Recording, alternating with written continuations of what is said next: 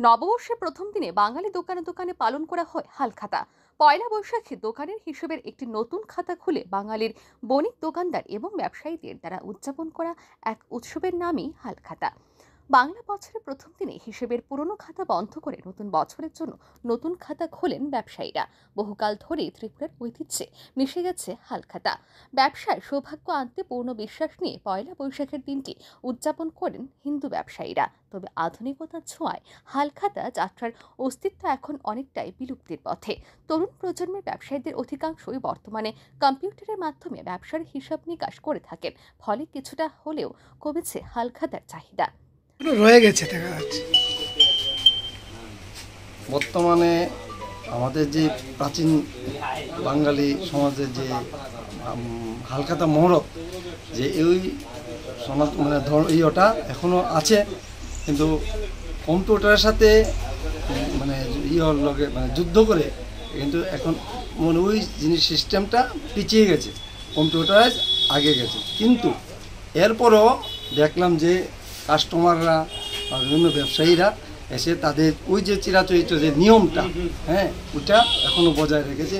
ও computer কিন্তু আমাদের ওই যে পূর্বপুরুষ থেকে শুরু করে বর্তমান অবধি আমাদের যে চিরাচরিত কথাটা আমরা পয়লা বৈশাখের দিন বিভিন্ন ঠাকুর বাড়িতে আমরা গিয়ে যাত্রা করব বা বাড়িতে যারা মানে যারা ঠাকুর প্রতিষ্ঠিত আছে ওইখানে তারা পূজা করে পুরোহিত মশাইয়ের দ্বারা আহ, নতুন করে বর্ষা আরম্ভ করে ব্যবসায়ী বা যাতে নতুন যে বর্ষাটা যাতে আরও ভালো হয় সমৃদ্ধি হয়, ওই কামনা করে এই সব যাত্রা হয়।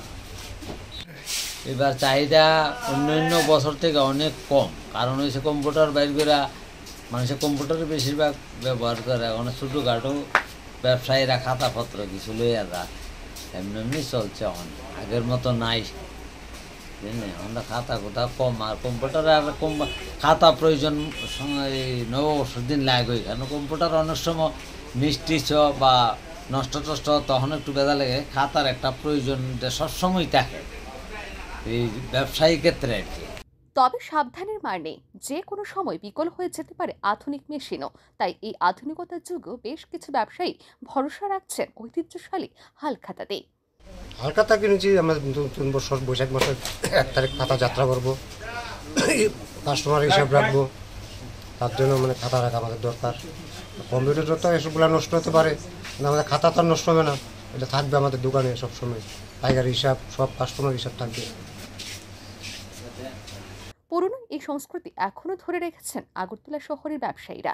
পয়লা বৈশাখের দিন সকালবেলা ঠাকুর বাড়িতে গিয়ে হালখাতা যাত্রা করানো দৃশ্য এখনও দেখা যায় রাজধানীতে। তবে ভবিষ্যতে কি বিলুপ্ত হয়ে যাবে এই প্রথা? সময়ই তার জবাব দেবে। ব্যুরো রিপোর্ট আর ই নিউজ।